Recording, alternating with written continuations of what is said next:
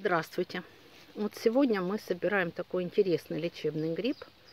Веселка, да? Идешь по лесу, слышишь безумный запах тухлятины, значит она рядом.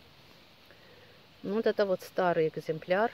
Шапочка уже побелела, обычно она черная.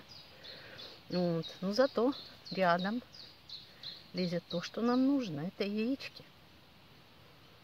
Порезанные на четыре части, сложенные в баллон – залитый спиртом, это знаменитая настойка веселки, которая применяется при разных заболеваниях. Ну, вот старый экземпляр.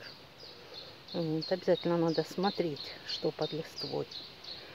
Значит, настойка веселки применяется при папилломах, бородавках, различных кожных заболеваниях, при болезнях желудка и даже при онкологии.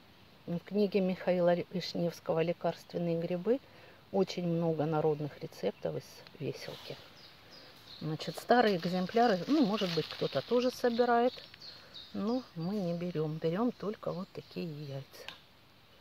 Значит, годятся и экстраты, и выгонки.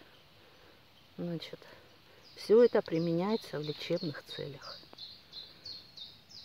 Вот так выглядит яйцо.